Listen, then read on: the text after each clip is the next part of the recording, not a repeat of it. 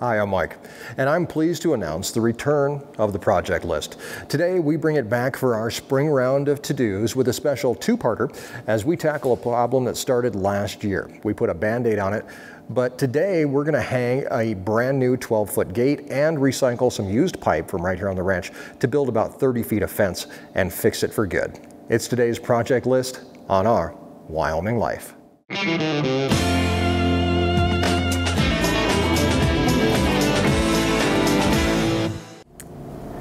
Welcome back to the project list. And if this is your first time here, let me catch you up. The project list started long ago, long before YouTube, and it began as a way to keep track of the multitude of projects that seem to pile up around here. Well, and try to keep them in some sort of order. Each and every time you notice something that needs done, you write it on this list right over here. And as we get things done, we cross them off. Problem is, for each thing you cross off, it seems that at least two things get added, and it works great. When you have a hand around here, anytime anybody needs something to do, it's always right there. All you have to do is have a look. Over the years, hundreds of projects have been added and crossed off, but now that we're coming out of winter and into spring on the ranch, it's time to get after it and take advantage of some nice weather before other things pull us away, like calving and haying, which will be here before you know it. Today, we're going to take a project off the list that has been there for over a year. It originated when fence was tore down by cows in the corral. Because the corral isn't an area that is constantly occupied by cattle, we fixed it by putting up a few panels as a safeguard against any other cattle getting out. Since that time, as often does around here, things came up. We used that corral to hold all the calves after we decided not to sell at our normal time last year. And wouldn't you know it, that corral saw more use in the last few months of even last year than it has in the past 10 years. And usually it's actually just a holding pen for just a few cows, so eh. The calves left back in January, but with the weather, frozen soil, frigid temperatures, all that, it wasn't a good time to try to replace the fence. Now though, the temperature is rising, longer days are bringing better weather, and the frost is in the process of coming out of the ground. Some projects, the window to get them done is slim, and this is just one of those projects. If we have to bring a cow in while the fence was down, we'd be in trouble. So we need to get this done pretty quickly. With our temporary panels down and out of the way, we have to come up with a plan. This fence never did have a gate on this side of the corral, but more gates are really not a bad thing, and being able to clean the corrals and take manure directly to compost piles rather than driving all the way around would be nice. So a gate it is. First, we have to remove some extra fence that didn't get taken out when the Great Escape took place.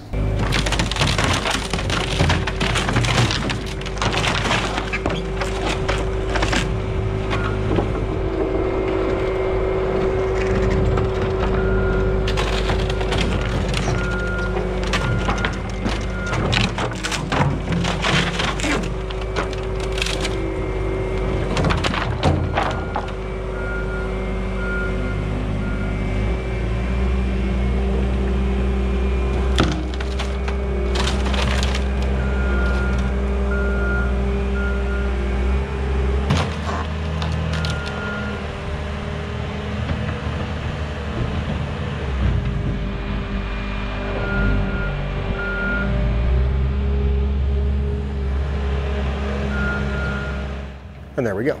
The fence is no longer an issue, and with the twills and the Bobcat, neither are the nails, and we can get everything piled up and out of the way.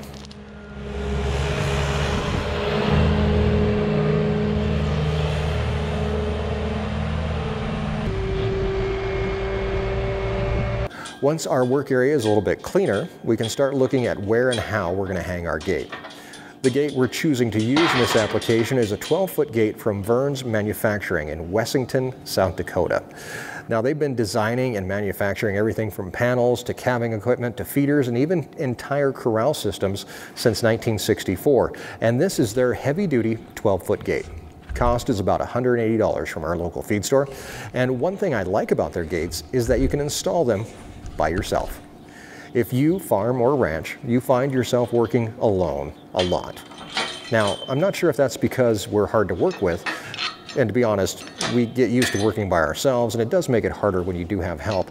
But sometimes when you do, you wish you didn't. So folks at Vern's know that, and they know how it goes. And their gate is equipped with hinges already attached. All you have to do is drill through your post. But first you want to measure and make sure you have everything that you need and everything is going to fit. You have a 12 inch threaded piece to fit through your post. And like here, anything in the way will actually cause you problems, especially with, with larger posts. Once we clear the way, we're good to go. And I like to drill a hole that's just a little bit too big. This is a 7 8 inch auger style drill bit. You can drill one of these using a spade bit, but that'll actually require you to keep cleaning out the hole. The auger bit is designed to continually push material out and it makes drilling a long hole like this one much, much easier. After measuring where you want the bottom of your gate to hang, I want mine at least a foot off the ground due to snow, we can drill the hole through the post. We try to stay level, but it's okay if you're not perfect. Vern's knows you're out here all alone, remember, and they make it pretty easy on you.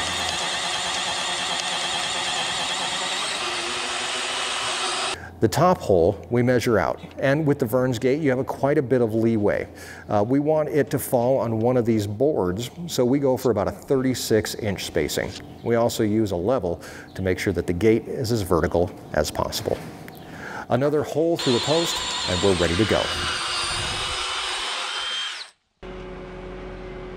I like to use the Bobcat to hold the gate while we're installing it. This gate weighs about 100 pounds, can be a little bit cumbersome to move around, and the Bobcat can hold it for us where we need it, or at least close to.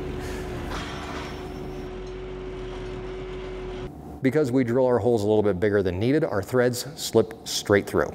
The bottom thread first, which we then tighten all the way down until it's completely tight. The top thread is actually an adjustment thread. Once this one's in place, we can, and it may take a little bit of engineering to hold it in place and put it where it is, you can put the nut on and tighten it until you get your, your gate level.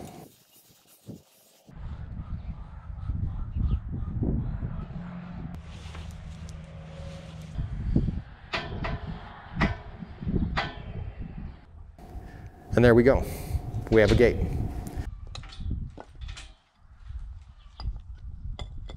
Next up is the fence, but that's for next time. When we go and recycle a bunch of pipe that we have from old oil wells that were dismantled here on the ranch. That pipe will find a second life as probably the stoutest fence on the ranch as we weld it together and eventually install it in place. But that's not until next week, right here on the project list. If you'd like to find any of the tools and items in today's project list, you can check out the description and head on over to our affiliate store on Amazon or go to amazon.com slash shop slash our Wyoming life. I hope you can subscribe and come along with us, explore the ranch life, and escape your ordinary.